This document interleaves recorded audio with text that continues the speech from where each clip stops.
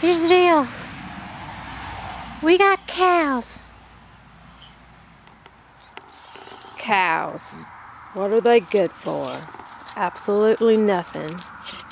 Say it again.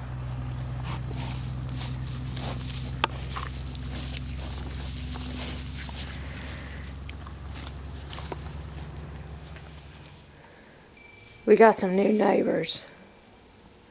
And they're big and they eat a lot. I bet they can eat like five times as much as me. Or maybe two times as much as Porkchop. They don't eat dog food. Look, look at me. I'm playing army cat. I'm having flashbacks. Holy crap. Hmm.